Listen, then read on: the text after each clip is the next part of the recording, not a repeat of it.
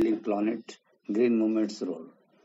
This chapter will be focusing on the causes that are responsible for the weakening health of this planet. This chapter is initially an article. The writer of this article is Nani Palkhivala. This article was published in the Indian Express on 23rd of November in the year 1994. In this article, the writer deliberates about the green movement, the ailing planet, the green movement's role summary, talks about how a Jew declares humans as world most dangerous animals. The writer believe, briefs the change in the per- perception of the societies from a materialistic view to the comprehensive and ecological view of the world. It states that humans are now worrying about the environment.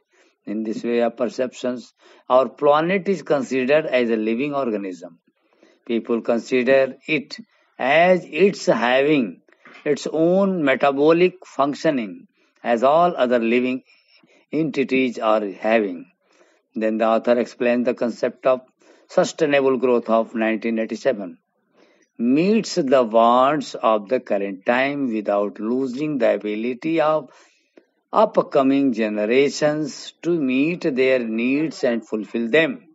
Furthermore, we must utilize the natural resources in such a way that we fulfill our needs as well as conserve these resources for the upcoming generations. People consider themselves as a partner and not um, as a member of this planet.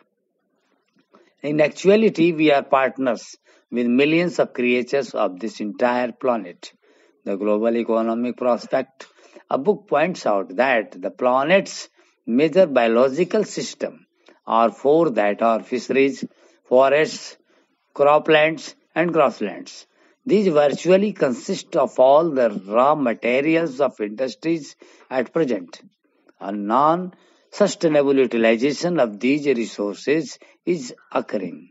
Then the writer is concerned about the lessening of the forest land, the dung which we should use as a natural fertilizer we are generally using to produce fuel. On the other hand, the soil is not receiving natural fertilizer.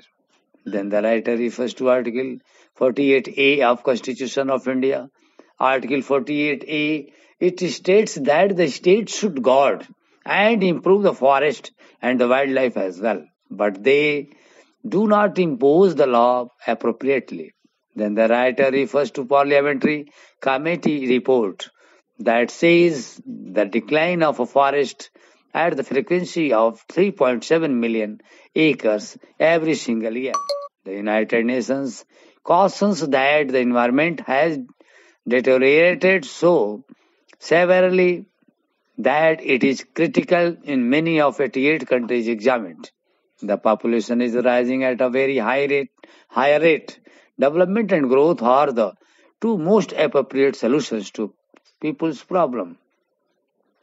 With such a population, development is a difficult task to do. We need a proper family planning to control the situation of overpopulation. There is a major need to control the population of the earth. The writer at this point once more repeats the positive change in view of people regarding ecology. Industries must also take responsibility for a better ecosystem. To conclude the ailing planet, the green movement's role summary tells us about the situation of this planet is in a crucial condition and how we must do our best to save it. Students are advised to do first of all NCERT question and inter summary in notebook. Thank you.